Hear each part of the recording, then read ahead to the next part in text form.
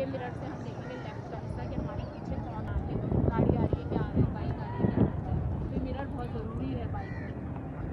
मैं तो बहुत, मुझे तो बहुत ही आदत हो गई है पीछे इस तरह से करके पता नहीं कैसे चलाने लेकिन मैं तो बहुत प्रॉपर हर चीज़ होनी चाहिए बाइक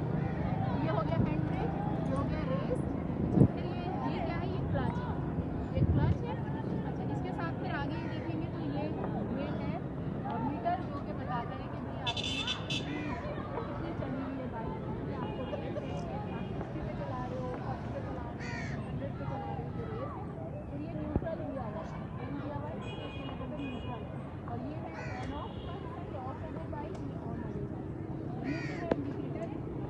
है अगर हमें राइट साइड पे टर्न होना है तो राइट इंडिकेटर लेफ़्ट पे तो लेफ़्ट इंडिकेटर सामने की लाइट है सही है अच्छा फिर जो है, हमारा जो है ये है क्लच है। क्लच का क्या काम है? क्लच दबा के ही जो हम गेयर शिफ्ट करेंगे। क्लच जैसे जैसे हम रेस आगे करते हैं रेस आगे हम बढ़ाते हैं। जैसे 20 की स्पीड है, फिर हम और